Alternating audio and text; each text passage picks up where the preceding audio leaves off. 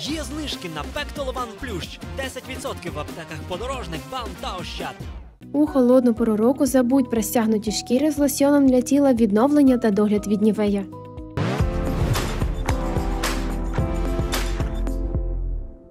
Військова база розміром з ціле місто. У Румунії почали будівництво найбільшої бази НАТО в Європі. За повідомленнями видання Євроньюз на реалізацію проєкту уряд виділив 2,5 мільярда євро. Відомо, що базу будують на трьох тисячах гектарів поблизу румунського міста, де знаходиться головний порт країни Констанца. Вона буде вміщувати у собі злітно-посадкові смуги, озброєні платформи та ангари для військових літаків. Планується, що база зможе прийняти до 10 тисяч солдат НАТО з їхніми родинами. Тож на території майбутнього найважливішого об'єкту НАТО будуть також школи, дитячі садки, магазини та лікарня. Нагадаємо, у листопаді президент Румунії дозволив НАТО розміщувати свої сили на території країни. Це дозволить альянсу швидше реагувати на можливі загрози безпеці, національній незалежності та суверенітету країни, зокрема з боку Росії.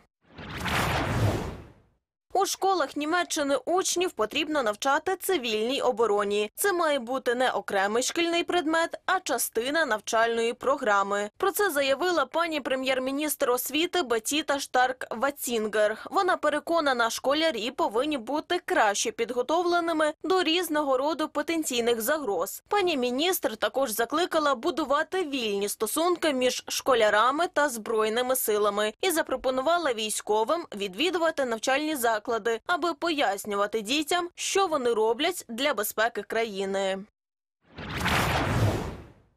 Джо Байден висміяв свого головного суперника на президентських виборах у США. Це сталося на званій вечері клубу Gridiron, на яку американського президента запросили як особливого гостя. Очільник Білого Дому для виступу мав 10 хвилин, дав серйозні месенджі, вкотре підтвердив підтримку України та пожартував над Дональдом Трампом.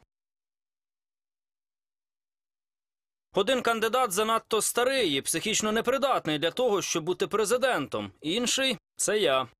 Це сказав 81-річний Байден про свого 77-річного опонента. Як відреагував Трамп на жарт про себе, поки невідомо. Президентські вибори у США пройдуть в листопаді. Лідери серед кандидатів чинний президент Джо Байден та його попередник Дональд Трамп.